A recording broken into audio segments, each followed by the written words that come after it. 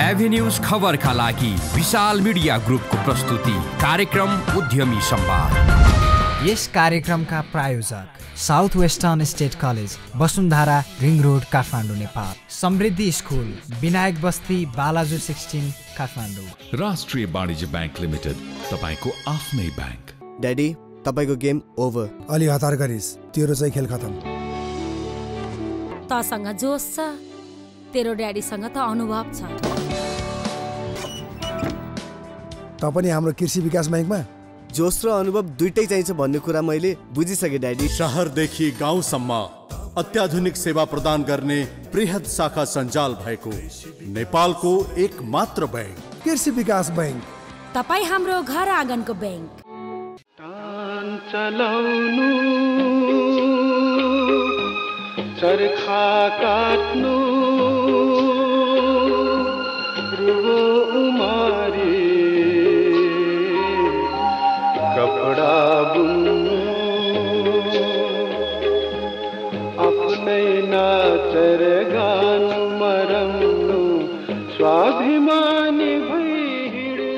हजारौं सहभागी सयौं सफल उद्यमी र दर्जनौं साझेदार निकायको संयुक्त अभियान टेलिभिजन कार्यक्रम उद्यमी संवाद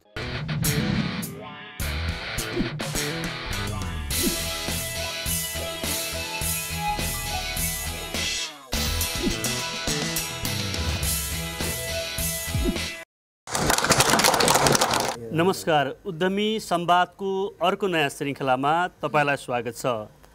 आज हामी कर्णाली प्रदेशको राजधानी सुर्खेतबाट उद्यमी संवादको पच्चिसौँ श्रृङ्खला छायाङ्कन गरिरहेका छौँ।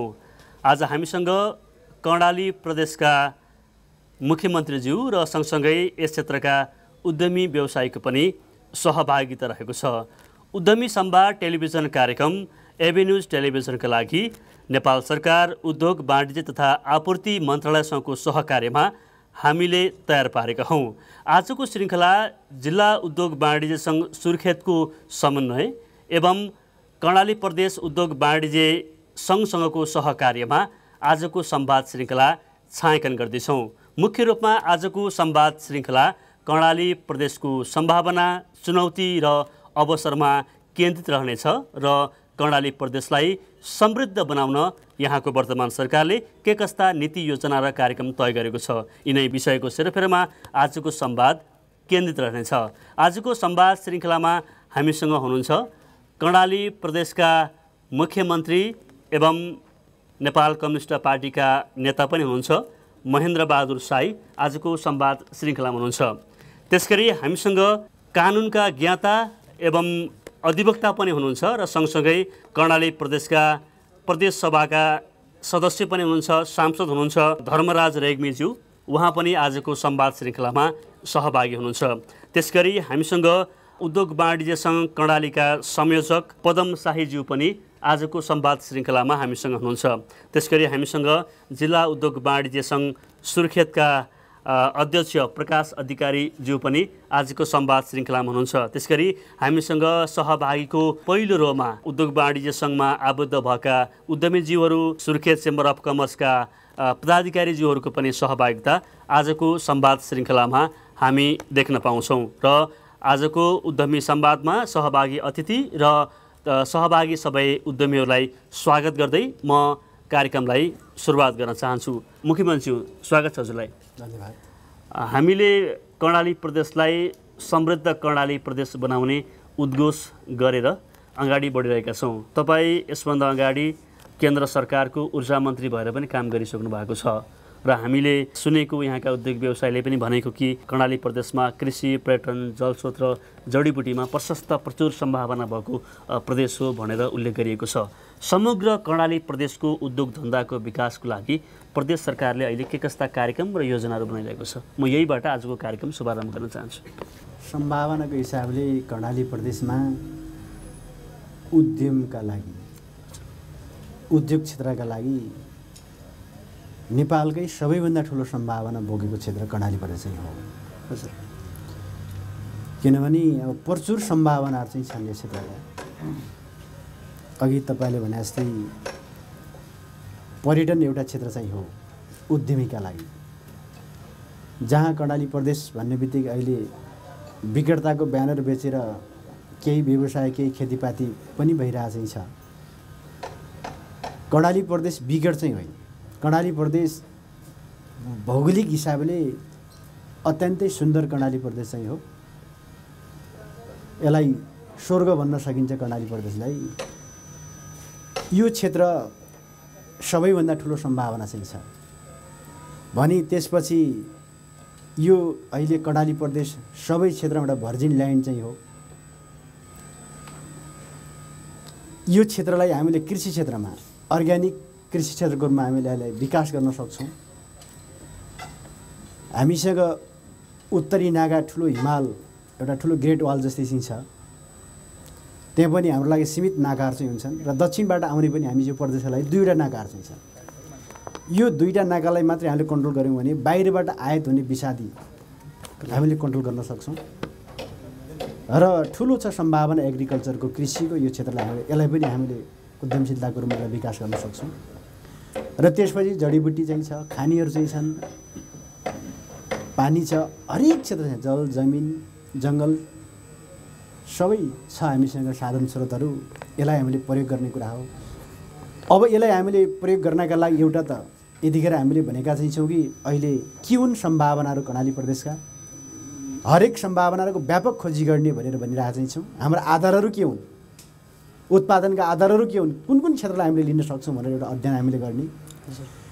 र त्यसको कार्यान्वयनमा जाँदाखेरि के पूर्वाधार विकास अहिलेको पहिलो प्राथमिकता हाम्रो चाहिँ हो।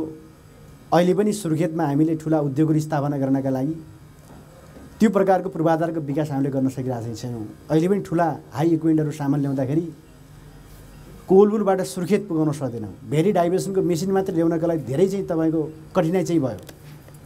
भोलि उद्योगका लागि ठुला ठुला मेसिनहरू चाहिँ ल्याउनुपर्छ। त्यो ल्याउन ल्याउने एक्सेस हाम्रो रोड्सले अझै पुगिरहेको छैन भने। अर्को कुरा अहिले पनि हाम्रा सुर्खेतमा एसीहरू मात्रै चलाउनका लागि पावर पुगिरहेको छैन? तेत्तिस केबी प्रसारण लाइन मात्रै हामीसँग छ। तैपनि फेरि आरक्षभित्र आउँदाखेरि त्यो थोरै हावा लाग्ने बित्तिकै रुखहरू ढल्ने र अवरुद्ध हुने लामो समय फेरि विद्युत आपूर्ति नै नहुने जस्ता समस्याहरू चाहिँ छन्। यसको पनि हामीले विद्युतको तपाईँको क्यापेसिटी वृद्धि गर्नु चाहिँ छ। हामीले यो ठाउँमा चार सय केबी प्रसारण लाइन आवश्यकता चाहिँ छ हामीले। यसका लागि हामीले त्यसको विकास गर्नु चाहिँ छ। त्यसपछि अब हामीले उद्योगका मोडलहरू हामीले स्थापना गर्दाखेरि एउटा त हामीले लघु हामीले घरेलु उद्योगहरू भनेका चाहिँ छौँ साना उद्योगहरू। हजुर। जो हामीले अहिले यसलाई मेनुअल सिस्टमबाट हामीले काम गरिरहेको छौँ। अहिले ओल्डमै सबैभन्दा बढी बिक्री हुने पनि फेरि अहिले ह्यान्डमेड घरेलु हजुर। जो म्यानुअलबाट उत्पादन गरेका वस्तुहरू हस्तकला अहिले हो यो बढी जाने गर्छ फेरि ओल्डमै यसको बजार चाहिँ यसको मार्केट बन्न सक्ने सम्भावना चाहिँ छन्। यसलाई पनि हामीले प्रमोट गर्नु छ भने अर्को ठुला उद्योगहरू। अहिले हामीले उद्योग भन्ने बित्तिकै वस्तु उत्पादन गर्ने भनेको अरूसँग प्रतिस्पर्धा गर्ने हो। त्यसैले हामीले के हेर्छौँ भने अरूको खुसी केमा छ? हजुर। हामीले दुनियाँलाई खुसी कर्णाली प्रदेशले कसरी दिन सक्छ? हजुर। त्यसभित्र हाम्रो व्यवसाय चाहिँ फस्टाउने हो। खुसी केमा छ जस्तै कर्णाली प्रदेशबाट हामीले दुनियाँले खुसी कसरी दिन सक्छौँ? केमा खुसी दिन सक्छौँ? के हुनसक्छ त्यस्तो वस्तु उत्पादन हामीले कर्णाली प्रदेशमा? यसका सम्भावनाहरू पनि हामीले खोजेर ती वस्तु उत्पादन गर्ने म योसँगै जोड्छु। मुख्यमन्त्रीज्यूले निकै आशावादी कुराहरू गर्नुभयो कर्णाली प्रदेशको सन्दर्भसँग जोडेर। तपाईँ योभन्दा अगाडिको सङ्घीय सरकारको ऊर्जा मन्त्री भएर पनि काम गर्नुभएको छ। सरकारले बनाउने नीति योजना र कार्यक्रमहरू सुन्दा निकै आकर्षक लाग्छ। केही व्यावहारिक कुरा पनि देखिन्छ। तर आर्थिक मसान्त सकिएपछि हामी समीक्षा गर्दा हामीले भनेका बनाएका लक्षित नीति योजना र कार्यक्रम कार्यान्वयन हुँदैनन् या अपेक्षाकृत रूपमा सफल हुँदैनन्। के कारणले गर्दा अथवा के कुराको अवरोधले गर्दा हामीले बनाउने यति मिठा आशा लाग्दा नीति योजनाहरू कार्यान्वयन हुन नसकेका होलान्? म मुख्यमन्त्रीबाट जान चाहन्छु। अब मैले त के भने भने अब धेरै ठुलो लामो सङ्घर्षबाट व्यवस्था परिवर्तन हामीले गरेका चाहिँ छौँ। यो मुलुकको नयाँ संविधान चाहिँ दिएका चाहिँ छौँ। र अबले हामीले सङ्घीय संरचनामा मुलुकलाई लिएका चाहिँ छौँ। र अबको आवश्यकता भनेको मैले के देख्छु भन्नुहुन्छ भने एकजनाले मलाई क्वेसन गरेका चाहिँ थियो अबको तपाईँहरूको मिसन के हो भनेर उसले प्रश्न गर्दा मैले भने ब्रेन वार मैले भने। अब दिमागमा क्रान्ति ल्याउन जरुरी चाहिँ छ। कागजमा क्रान्ति त हामी ल्यायौँ परिवर्तन ल्यायौँ। तर मान्छेहरूका सोचहरू मान्छेहरूका आदतहरू मान्छेहरूका काम गर्ने शैलीहरू पुरानै छन्। हामीले कागजमा मात्रै हामीले परिवर्तन लिएर सम हुँदैन फेरि। ब्रेनमा परिवर्तन आउनु जरुरी चाहिँ छ। आजका भोगा बसेका मान्छेले आजको दिन खाना खुवाउने मात्रै हाम्रो प्लानिङ चाहिँ छ। यसले गर्दा विकास चाहिँ सम्भव छैन समृद्धि सम्भव छैन। गुजरा मात्रै हुन्छ। आखिर त गुजरा चलिरहेको चाहिँ छ। बाँची त रहेछौँ हामी नेपालीहरू। बाँचेर मात्रै हुने त्यसो भावनाले कर्णाली प्रदेशलाई हामीले यसरी सोचेका चाहिँ छौँ कि अब कति किलोमिटर सडक चाहिँ खन्यो भने कर्णाली प्रदेशका लागि चाहिँ पुरा हुन्छ। हस् हस् त्यसपछि कति किलोमिटर हामीले बिजुलीको लाइन तान्यो भने कर्णाली प्रदेशलाई चाहिँ प्राप्त चाहिँ हुन्छ। कतिवटा स्कुल भयो भने हाम्रो राम्रो शिक्षा दिन सक्छौँ कतिवटा हस्पिटल भयो भने हामीले उनीहरूलाई चाहिँ उपचार स्वास्थ्य उपचार हामी दिन सक्छौँ। यो सबै कुराको ठुलो बृहत प्लानिङ एउटा गुरु योजना एउटा जिआइएस म्यापिङ चाहिँ गरेर कहाँ कहाँ कुन कुन ठाउँमा के के सम्भावना चाहिँ छन् भन्ने कुराहरूको पहिचान गरेर त्यसपछि प्लानमा लाग्ने र बजेटलाई केन्द्रित गर्ने हाम्रो बजेट कति छ त्यो बजेटले के काम गर्न सक्छौँ भन्ने कुरातिर केन्द्रित भएर जानुपर्ने हो। के गर्दाखेरि विकास चाहिँ सम्भव छ? पूर्वाधार विकास कसरी सम्भव छ? र आर्थिक समृद्धि कसरी सम्भव छ भन्ने कुराहरूको बारेमा अझै युवाहरूमा वृहत छलफल गरेर एउटा निष्कर्ष निकालेर ल अबको सम्भावना यो यो विकल्पबाट अगाडि बढ्न मात्रै सम्भव छ भन्ने कुराहरू बुझाइमा हामी ल एक ठाउँमा आएर दृढतापूर्वक हामी अगाडि बढ्यौँ भने सायद यो देश बन्ने कुराहरू यो कर्णाली प्रदेश बन्ने कुराहरू धेरै टाढा धेरै पर छ जस्तो मलाई लाग्दैन। हजुर भनेको सल्लाह सुझाव र प्रतिक्रिया लिएर कर्णाली प्रदेशको विकासको मोडेल बनाउनु अहिलेको आवश्यकता हो। आवश्यकता। हस् धन्यवाद म फेरि आउँछु मुख्यमन्त्रीज्यूसँग म प्रदेश सभा सांसद पनि हुनुहुन्छ धर्मराज रेग्मीज्यूतर्फ जान चाहन्छु अहिले हामी पहिलोपटक प्रादेशिक संरचनामा छौँ र संहिताको अभ्यास गर्दैछौँ संहिताको अभ्यास गर्ने सन्दर्भमा सरकारका जिम्मेवार व्यक्तिहरूले बोल्दै आएको अभिव्यक्ति एउटा के रहन्छ भने नीतिगत व्यवस्था ऐन निर्माणको प्रक्रियामै हामी बढी इङ्गेज हुनुपर्ने भएको कारणले गर्दा जनताको अपेक्षाकृत इच्छा रुचि र चाहनालाई सम्बोधन गर्न सकेका छैनौँ भन्ने कुरा हामी सुन्छौँ। तपाईँ कानुनको ज्ञाता पनि हुनुहुन्छ। यस अर्थमा म सोध्न चाहन्छु कि कर्णाली प्रदेशले के कस्ता ऐन नियमहरू निर्माण गरिएको छ जसले अघि भने जस्तै कर्णाली प्रदेशको समृद्धिमा सहयोग पुर्याउँछ? धेरै धन्यवाद। तपाईँले भने जस्तो अहिलेसम्म औद्योगिक विकासको ढोका किन खुलेन भन्ने ठाउँबाट हामीले चिजलाई हेर्नुपर्छ।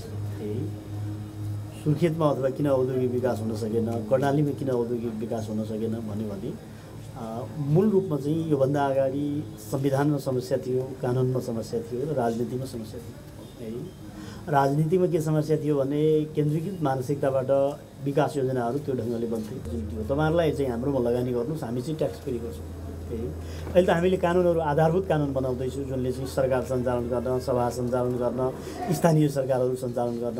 अब हाम्रा विषयगत यी कानुनहरू पनि अबको अधिवेशनमा हामी चाहिँ निर्माण गर्छौँ। त्यो निर्माण गर्दा हामी पहिलो काम के गर्छौँ भने अहिलेसम्म कानुनहरू माथिबाट बनाइयो अब हामी कानुन तपाईँहरूको नजिक बसेर बनाउँदैछौँ र नजिक बसेर बनाउँदा सरकारवालाहरूसँग अन्तर्क्रिया गरेर कानुन बनाउँछौँ।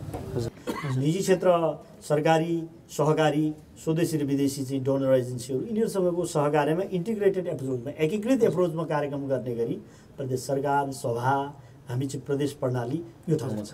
हस् धन्यवाद। म फेरि आउँछु। म पदम साईजीतर्फ जान चाहन्छु। कर्णाली प्रदेशको उद्योग वाणिज्य सङ्घको संयोजक पनि हुनुहुन्छ। कर्णाली प्रदेशले गरिरहेका काम र प्रतिबद्धताका विषयमा मुख्यमन्त्रीज्यू र सांसदज्यूसँग संवाद गऱ्यौँ। र तपाईँ यस क्षेत्रको उद्योगी व्यवसाय पनि हुनुहुन्छ। खास गरेर यो कर्णाली प्रदेशलाई समृद्ध बनाउनको लागि उद्योग क्षेत्रको विकासका लागि कर्णाली प्रदेशको सरकारले गर्नुपर्ने कामहरू के के हुन्? म जान्न चाहन्छु। धन्यवाद। कर्णाली प्रदेश सरकारले यो प्रदेशको समृद्धिका लागि उद्योग र व्यापारको सन्दर्भमा गर्नुपर्ने कामहरू भनेको सबैभन्दा पहिला त नीतिको कुरा नै हो। अहिले सङ्घीय सरकार पश्चात जुन प्रादेशिक हिसाबमा जुन सातैवटा प्रदेशमा जुन सरकारहरू बनिसकेपछि अहिले प्रशस्त मात्रामा उद्यमीहरू कुन क्षेत्रमा के सहुलियत पाइन्छ र कहाँ लगानी गर्ने भन्ने हिसाबले हेरिराखेको अवस्था चाहिँ छ। र कर्णाली प्रदेश सरकारले राष्ट्रिय अन्तर्राष्ट्रिय लगानीकर्ताहरूलाई तान्नका लागि नीतिगत सवालमा जुन कानुनको कुरा आयो उद्योग र व्यापारको क्षेत्रमा सबैभन्दा बढी लाभ यो प्रदेशमा दिन सकिन्छ र हामी दिन्छौँ भन्ने किसिमको कानुनमा र म्यासेजमा पनि पुर्याउनु पऱ्यो सूचना पनि पुर्याउनु पऱ्यो त्यस पश्चात हामी उद्यमी व्यवसायहरूको राष्ट्रिय र अन्तर्राष्ट्रिय उद्यमीहरूलाई हामी यो प्रदेशमा चाहिँ तान्न सक्छौँ भन्ने मलाई लाग्छ। र अर्को कुरा के हो भने पूर्वाधारको कुरा। यहाँ जमिन असाध्यै महँगो छ। सुर्खेत हुन त जमिन महँगो हुने ठाउँमा उद्योग हुन सक्दैन भन्ने कुरा होइन तर पब्लिक प्राइभेट पार्टनरसिपमा पनि जानुपर्ने अवस्था चाहिँ हुनसक्छ उद्योगलाई जुन औद्योगिक क्षेत्रलाई चाहिने जुन पर्याप्त मात्रामा जग्गा जमिन र अन्य पूर्वाधार विद्युतका कुराहरू जुन सडकका कुराहरू जुन अघि मुख्यमन्त्रीज्यूले पनि जुन कुरा राखिसक्नु भएको छ त्यो सत्य नै हो। हामीसँग असाध्य पूर्वाधारको कमजोर अवस्था छ। यो पूर्वाधारलाई हामीले जहाँसम्म अगाडि बढाउन सक्दैनौँ अथवा उद्योग धन्दा कल कारखानालाई चाहिने पूर्वाधार निर्माण गर्न सक्दैनौँ नीति निर्माण गर्न सक्दैनौँ त्यो नगरुन्जेलसम्म उद्योग धन्दा कल कारखाना स्थापना हुन सक्ने अवस्था चाहिँ छैन। त्यसका लागि ठुलो कुरा भनेको नीति र पूर्वाधार नै हो। हस् धन्यवाद। म प्रकाशजीतर्फ जान चाहन्छु। जिल्ला उद्योग वाणिज्य सङ्घ सुर्खेतको अध्यक्ष पनि हुनुहुन्छ। अब सुर्खेत जिल्ला कर्णाली प्रदेशको राजधानी पनि हो र कर्णाली प्रदेशभित्रै अलि बढी अरू जिल्लाको तुलनामा सुगम जिल्लाको रूपमा पनि हामी लिन्छौँ कर्णाली प्रदेशको सुर्खेत जिल्लालाई।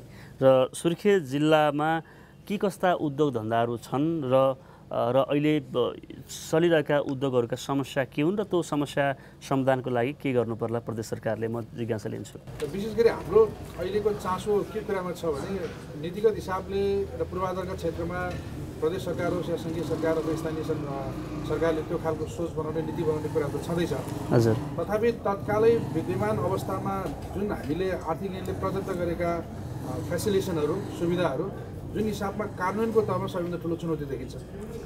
अब हामी ठुला ठुला औद्योगिक क्षेत्रका कुरा गर्छौँ। अहिले हामीसँग मलाई लाग्छ धेरै वर्ष पुरानो अ, सुर्खेतको वीरेन्द्र औद्योगिक क्षेत्र पनि छ। अहिलेसम्म हामीसँग डेडिकेटेड फिडर लाइन चाहिँ अहिले बत्ती चाहिँ डाइरेक्टली डेडिकेटेड फिडर लाइन। नेपालको एउटा मात्र औद्योगिक क्षेत्र जो चाहिँ डेडिकेटेड फिडर लाइन नभएको औद्योगिक क्षेत्र छ।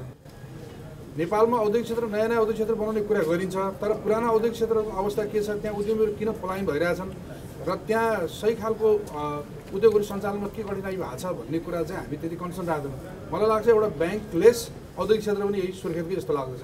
अहिलेसम्म त एउटा ब्याङ्कको ब्रान्च पनि छैन र परियोजना धितोमा औद्योगिक क्षेत्रमा उद्योगहरूलाई उद्योगहरूले परियोजनाको बेसमा चाहिँ लगानी गर्ने वातावरण पनि छैन।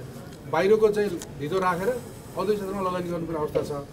दैनिक अवस्थाको कारणले गर्दा उद्योग सञ्चालनका कठिनाइ त थुप्रै छन् भने अर्कोतिर सामान्य पनि जुन सरकारले आर्थिक ऐनमा प्रदत्त गरेका चाहिँ भनौँ न फेसिलेसनका कुराहरू पनि सहज ढङ्गले प्राप्त गर्नलाई हामीलाई चाहिँ गाह्रो छ।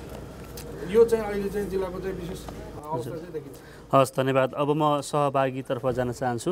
सहभागीको प्रश्न जिज्ञासा र विचार लिन्छु।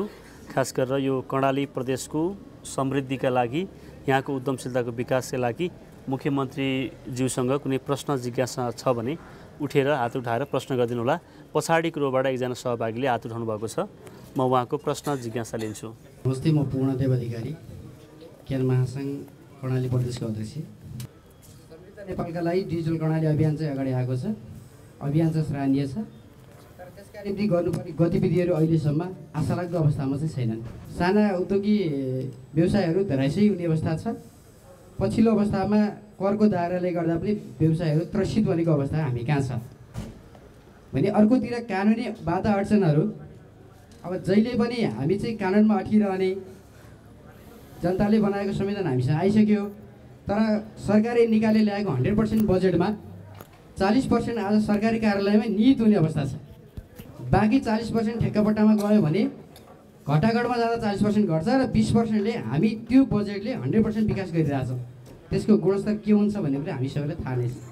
हस् धन्यवाद। अब म अरू सहभागीको प्रश्न जिज्ञासा र विचार लिन्छु। खगेन्द्र अधिकारी यहाँ सबैलाई नमस्कार। यहाँ ट्याक्स फ्रीको कुरा आएको छ तर जनतामा एउटा के त्रसित भावना छ भने हामीले कुखुरा पाल्यौँ भने त्यो कुखुराले दिने एउटा अन्डा बेच्यौँ भने पनि एक रुपियाँ ट्याक्स तिर्नुपर्छ भन्ने भ्रम छ। यो भ्रम चिर्नका लागि कर्णाली प्रदेश सरकारले यो कर्णाली प्रदेशभरि जनचेतना फैलाउन जरुरी छ। र अर्को कुरा यहाँ मुख्य मान्य मुख्यमन्त्रीज्यूले पनि भन्नुभयो हामी अर्ग्यानिक प्रदेशको रूपमा यसलाई विकास गर्दैछौँ भनेर भन्नुभएको छ। अठार टन युरिया सेतो मल कर्णाली प्रदेशमा भित्रिएको तथ्याङ्क छ हामी अर्ग्यानिक कर्णाली प्रदेशको जनता हौँ भनेर भन्ने अवस्थामा हामी पुगेका छौँ।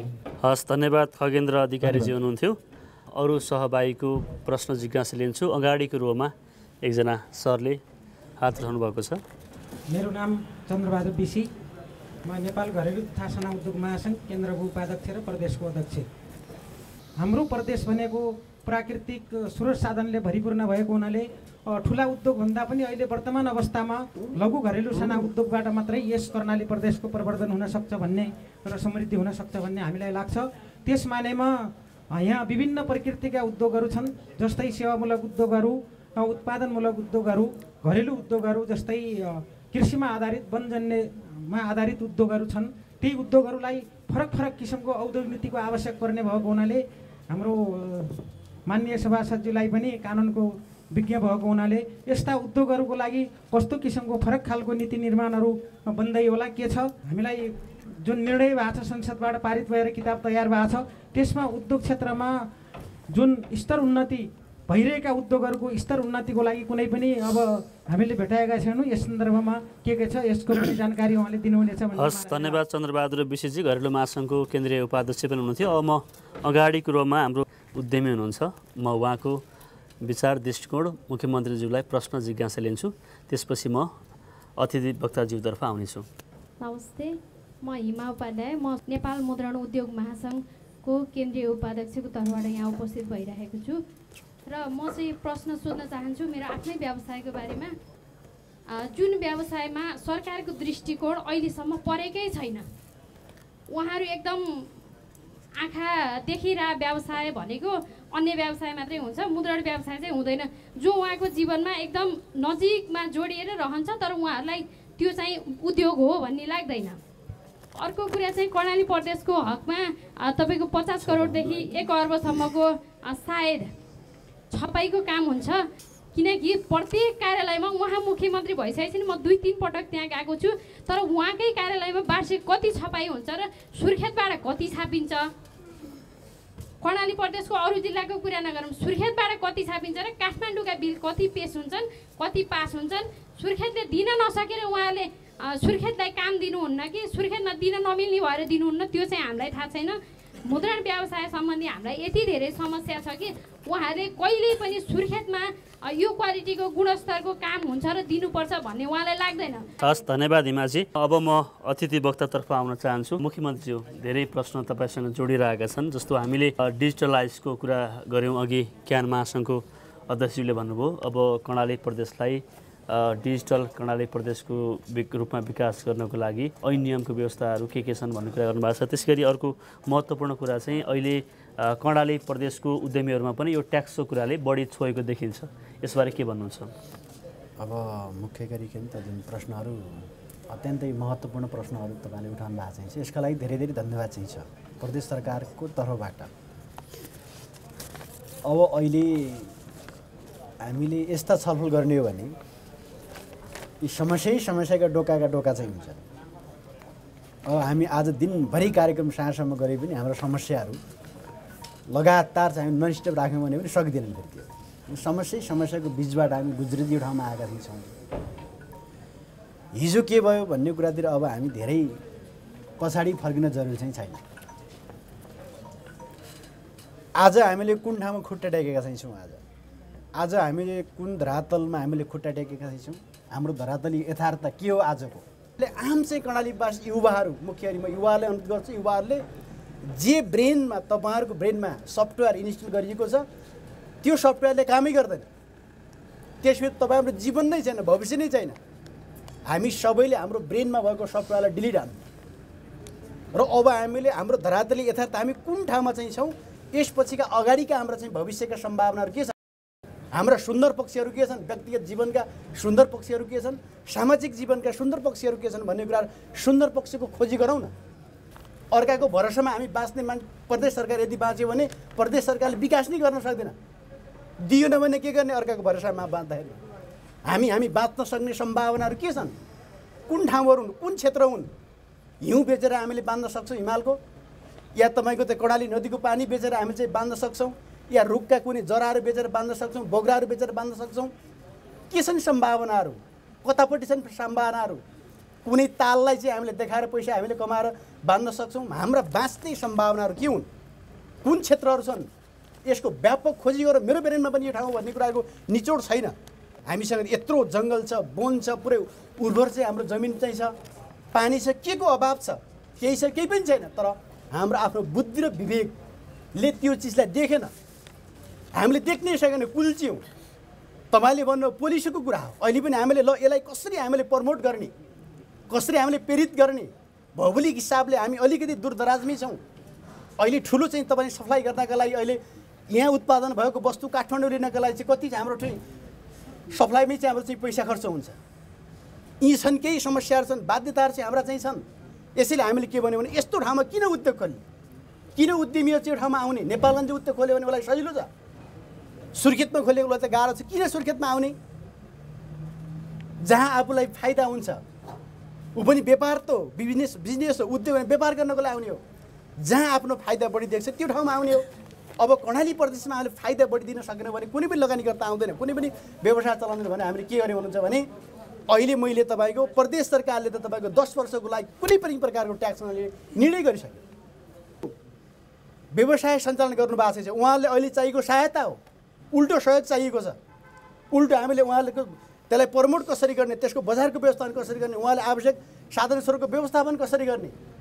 के हुनसक्छ नि सहयोग अहिले हामीले अलिअलि पैसा दिने बित्तिकै तपाईँको अनुदान ती चाहिँ तपाईँको चाहिँ साना चाहिँ घरेलु उद्योगहरूलाई प्रमोट गर्न सकिन्छ। ठुला उद्योगका लागि चाहिँ के गर्न सकिन्छ सम्भावना के छन् भन्ने कुराहरू सम्भावनाको बरु खोजी गरौँ। आउनुहोस् उद्यमी तपाईँहरू व्यवसाय कर्मीहरू मैले पटक पटक आग्रह गरेर चाहिँ छु बरु आइराख्नु भएको छैन तपाईँहरू नै आउनु भएको छैन। मैले धेरैपल्ट आग्रह गरेँ कि आउनुहोस् छलफल गरौँ छलफल गरौँ। के हो सरकारको तर्फबाट गरिदिनु कुराहरू कहिले सरकारले यो गरिदिनु पऱ्यो भनेर कोही एकजना मान्छे आएर भन्नुभएको चाहिँ सरकारलाई? सरकारको प्रमुखको हैसियतले मसँग कुराकानी भएको चाहिँ छ छैन। कता हिँड्नु भएको छ कता जानु भएको छ?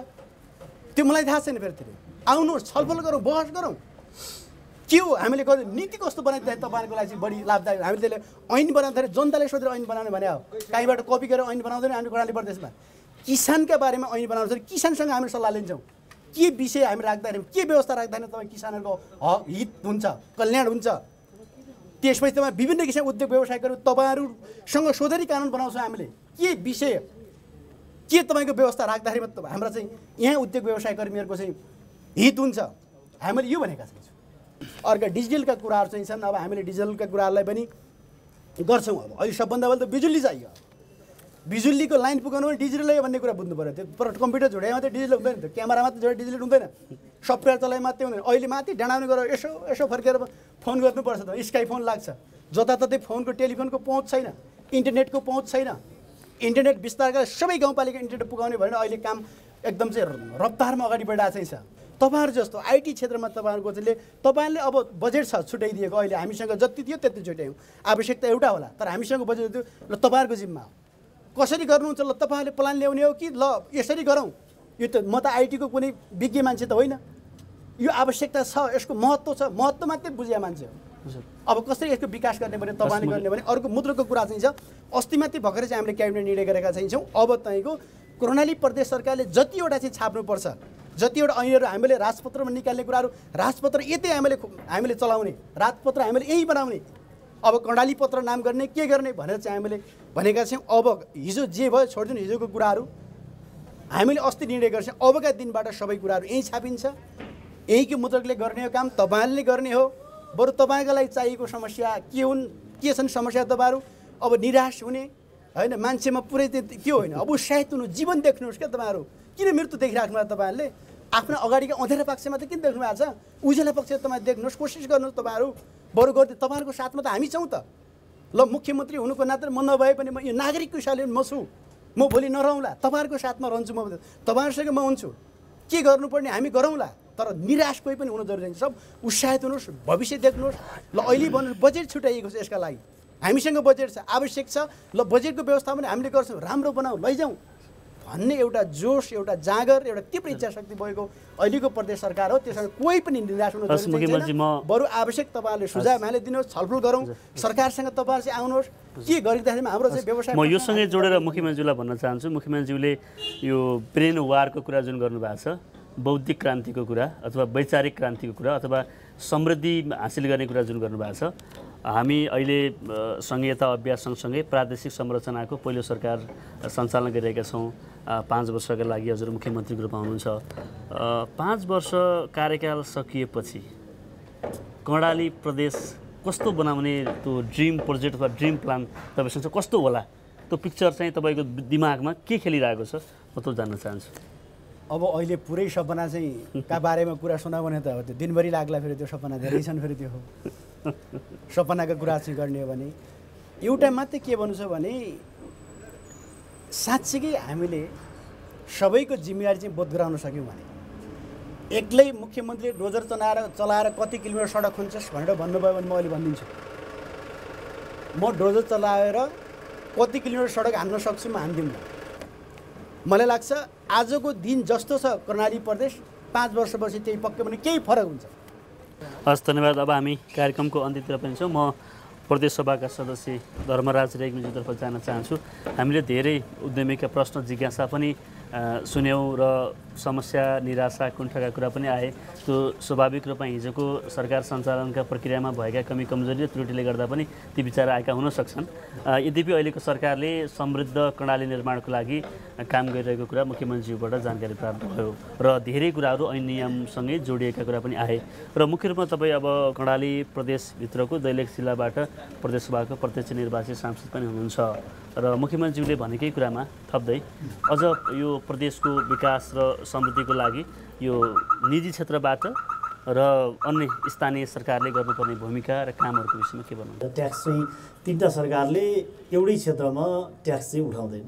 संविधानले के भन्यो भने दोहोरो कर चाहिँ लगाइँदैन। नागरिकमाथि दोहोरो कर लगाउन चाहिँ संविधानले छुट दिएको छैन दोहोरो कर लगाइँदैन। कर केमा लगाइन्छ भने स्थानीय सरकारले केही निश्चित विषयमा लगाउँछ प्रदेश सरकारले निश्चित विषयमा लाउँछ र सङ्घीय सरकारले निश्चित विषयमा लाउँछ।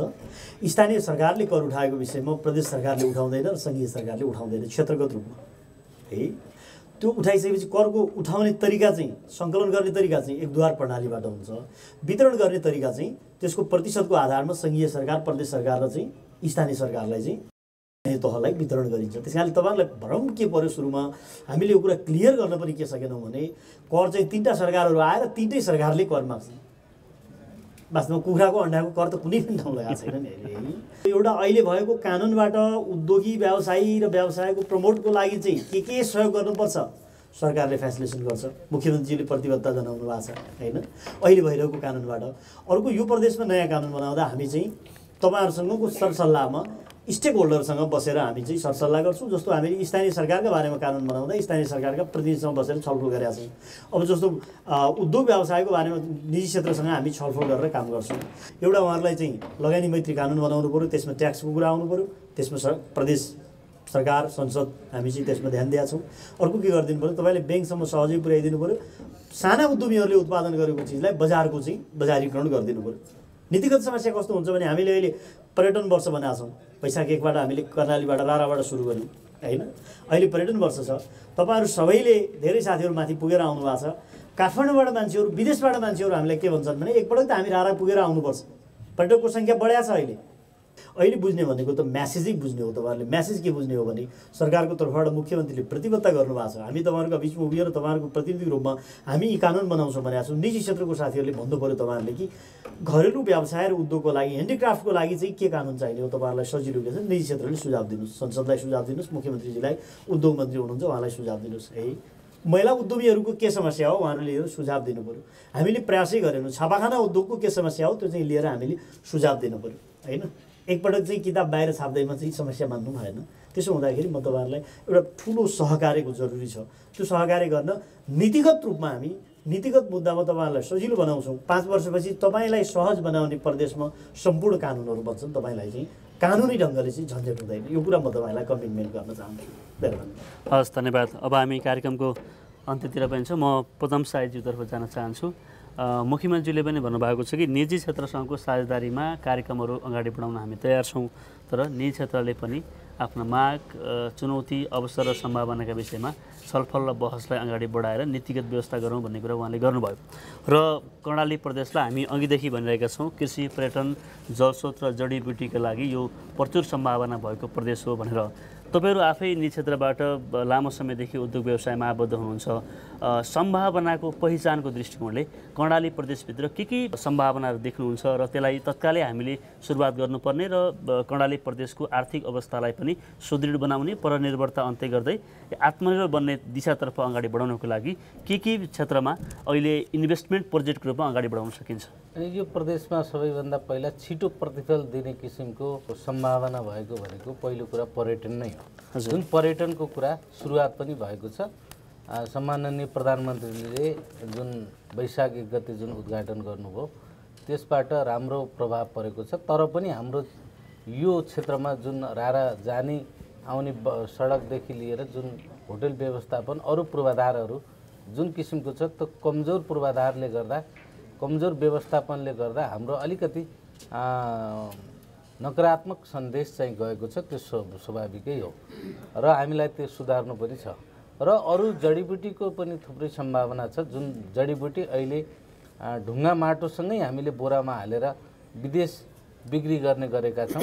त्यसलाई कम्तीमा पनि हामीले प्रशोधन गरेर अलिकति भए पनि त्यसलाई त्यसको भ्यालुएट गरेर हामीले पठाउन सक्यौँ भने त्यसकोबाट पनि हामीलाई फेरि अहिलेको भन्दा बढी प्रतिफल हामीलाई चाहिँ आउँछ भन्ने मलाई लाग्छ। त्यो त्यसको प्रतिफल प्रत्यक्ष रूपमा किसानलाई पनि जान्छ र राज्यलाई पनि जान्छ व्यवसायलाई पनि आउँछ। हस् धन्यवाद पदम साईजी। अब। हामी कार्यक्रमको अन्तिममा छौँ। म प्रकाश अधिकारीज्यूतर्फ जान चाहन्छु। त्यो इन्भेस्टमेन्ट प्रोजेक्टकै कुरा गर्न चाहन्छु कर्णाली प्रदेशमा दसवटा जिल्ला छन्। जिल्ला वाइज हामीले के के सम्भावना देख्न सक्छौँ र प्रदेश सरकारले कुन जिल्लामा कस्ता प्रोजेक्टहरू सञ्चालन गर्यो भने प्रदेश समृद्ध बन्न सक्छ र प्रदेश समृद्ध बन्दा मुलुकै समृद्ध बन्न सक्छ? के अरे हामी सम्भावना म्याटराइज गर्ने हो भने स्थानीय स्तरमा हामीले पहिला पनि के भन्दा बिजनेस फोरम हुनु पऱ्यो सार्वजनिक सार्वजनिक एक आउनु पऱ्यो तत्कालै। त्यसमा को चेयर चाहिँ प्राइभेट सेक्टरले गर्नु पऱ्यो। र प्रत्येक नगरपालिका गाउँपालिका र प्रदेशमा जिल्ला स्तर स्तरमा कस्ता कस्ता खालका बिजनेसका सम्भावनाहरू छन् र ती बिजनेस सम्भावनाहरू स्थानीय लगानीकर्ताबाट हुन्छन् कि राष्ट्रिय हुने हो कि अन्तर्राष्ट्रिय हुने हो कि ती लगानीलाई कसरी ल्याउन सकिन्छ भन्ने पार्टमा चाहिँ हामी म्याटलाइज गर्ने हिसाबले बिजनेस फोरम चाहिँ तत्कालै बन्नु पऱ्यो। प्रदेशको प्रदेश स्तरको बिजनेस फोरम बन्नु पऱ्यो। त्यसको चेयर मुख्यमन्त्रीले गर्नु पऱ्यो। भने नगरपालिका र गाउँपालिकाको स्तरमा चाहिँ त्यहाँको चाहिँ मेयर र चाहिँ गाउँ अध्यक्षले गर्ने खालको र प्राइभेट सेक्टरले को चेयर र प्राइभेट सेक्टरको भूमिका हुने भयो भने बल्ल हामीले स्पेसिफिक प्रोजेक्टहरू चाहिँ यस्ता यस्ता लगानीका सम्भावना हाम्रो क्षेत्रमा छ नै जब अब चाहे कृषिको कुरा गाउँ गाउँमा कृषि उद्योगहरू ल्याउन सकिने कुरा होस् चाहे जडी साढे सात सय जडीबुटीलाई र मात्र होइन एक्सट्र्याक्सन गरेर होइन त्यसको चाहिँ के भने विभिन्न खालका टेक्निकल प्रडक्टहरू भ्यालुएसन गरेर लिएर जाने कुरा होस् चाहे पर्यटनका विभिन्न खालका प्रडक्टहरूमा विभिन्न डाइभर्सिफाइड प्रडक्टहरूमा चाहिँ इन्भेस्टमेन्ट ल्याउने कुरा होस्। चाहे खानी खनिजको चाहिँ नीतिगत समस्या भएका कुरालाई मेटलाइज गरेर टुङ्गाउने कुरा होस् र सँगसँगै लघु साना उद्योगहरू अटोमेटिकली के अरे ठुला उद्योगहरू आउँदाखेरि साना लघु उद्योगहरू सँगसँगै कनेक्टिभिटी उद्योगको रूपमा आउन सक्ने खालको हिसाबमा जान सकिन्छ। तर यसका लागि भन् भन्दाखेरि समग्रतामा वाणिज्य सङ्घले विगतमा पनि हामीले इन्भेस्टमेन्ट प्रोफाइल भनेर पचासवटा स्पेसिफिक प्रोजेक्टहरू चाहे इन्फ्रास्ट्रक्चरको के होस् चाहे एग्रिकल्चरको होस् यो विभिन्न पोटेन्सियल सेक्टरहरूको सम्भावना छ भन्ने इन्भेस्टमेन्ट हस् धन्यवाद प्रकाश अधिकारी हुनुहुन्थ्यो। हामी कार्यक्रम अन्त्यमा छौँ। म अब अन्त्यमा मुख्यमन्त्रीतर्फै केन्द्र गर्न चाहन्छु। अन्त्यमा खास गरेर अहिले यो टेलिभिजन कार्यक्रम उद्यमी संवाद हेरेर बस्नुभएका देशभरका दर्शकहरू त्यसै गरी युट्युबमा हेरिरहनु भएको यो कार्यक्रम। जो कर्णाली प्रदेशमा लगानी गर्न चाहनुहुन्छ एनआरएनका साथीहरू कर्णाली प्रदेशभन्दा बाहिर बसेर काठमाडौँ विराटनगर बुटोलमा आफ्नो पेसा व्यवसाय सञ्चालन गर्नुभएका उद्यमी व्यवसायलाई समग्र रूपमा कर्णाली प्रदेशको मुख्यमन्त्रीको हैसियतमा के भन्न चाहनुहुन्छ? सबभन्दा पहिला त म सबैलाई एकपटक कर्णाली प्रदेशमा आएर हजुर। यहाँको वास्तविकता के छ भन्ने कुराहरू धरातलीय मैले अलि यथार्थ भने के छ कर्णाली प्रदेश? जस्ताको तस्तै एकपल्ट अध्ययन गर्नका लागि आइदिनको लागि म अनुरोध गर्छु सबभन्दा पहिला। हजुर। हामीले गरेका कुरामा चाहिँ तपाईँको पत्या नलाग्न सक्छ विश्वास नलाग्न सक्छ। स्वयं आफ्नै आँखाले देख्यो भने सम्भावनाहरू आफ्नै आँखाले चाहिँ देखेर तपाईँको चाहिँ त्यसको चाहिँ महसुस गर्यो भने उहाँहरूलाई विश्वास चाहिँ हुन्छ कि यो ठाउँमा छ। है सम्भावना छन् भन्ने कुराहरू उहाँको आँखाले नै देख्छ। हजुर। र यसका लागि सबभन्दा पहिला कर्णाली प्रदेशमा आउनका लागि म एकदम चाहिँ आह्वानै गर्छु सबैलाई। त्यसो भनेर हामीले फेरि प्रदेश सरकारको तर्फबाट लगानी सम्मेलन गर्ने पनि हामीले भनेका चाहिन्छौँ। अहिले लगानी सम्मेलन किन रोक्यौँ भन्नुहुन्छ भने सबभन्दा पहिला हामीले प्रोजेक्ट ब्याङ्कहरू केही तयार पार्न जरुरी चाहिन्छ। त्यसै उधारा कुरा प्रचुर सम्भावना सम्भावना मात्रै भनेर हुँदैन मूर्तहरूमा अघि हाम्रो चाहिँ अध्यक्षज्यूले भने जस्तै यो यो यो यो क्षेत्र हुन् भनेर हामीले ठ्याक्कै हामीले त्यसलाई चाहिँ पोइन्टेड गरेर यतिवटा प्रोजेक्ट तत्काल चाहिँ हामीले अगाडि बढाउन सक्छौँ। कम लगानीबाट बढी बेनिफिट चाहिँ छ यसमा। भन्ने कुरालाई हामीले अलिकति मोडिफाई गरिसकेपछि त्यसपछि मात्रै हामीले सम्मेलन गर्ने भनेर भनेका चाहिन्छौँ र त्यो सम्मेलन हामीले आह्वान गर्ने हजुर। सबैलाई त्यो सम्मेलनमा आइदिनका लागि म आग्रह चाहिँ गर्छु। हजुर।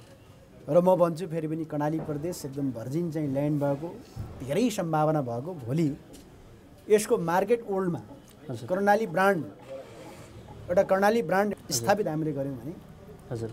राम्रो छ। सबै क्षेत्रमा चाहिँ राम्रो सम्भावना छ यसका लागि अब हामीले लगानी मैत्री वातावरण चाहिँ सिर्जना गर्ने। अरू प्रदेशको भन्दा बढी चाहिँ तपाईँको बेनिफिट कर्णाली प्रदेशमा चाहिँ त्यसको ग्यारेन्टी पनि गरिदिने। यो प्रकारको वातावरण प्रदेश सरकारले चाहिँ बनाउँछ। यसका लागि हामीले आह्वान गरेका चाहिन्छौँ एकपटक भर्जिन ल्यान्डमा तपाईँहरू आएर भिजिट गर्नुहोस्। र त्यसपछि तपाईँहरूलाई कुन क्षेत्रमा कुन ठाउँमा काम गर्ने तपाईँहरूको चाहिँ अब इच्छा चाहिँ तपाईँको चाहिँ हजुर। पैदा हुन्छ।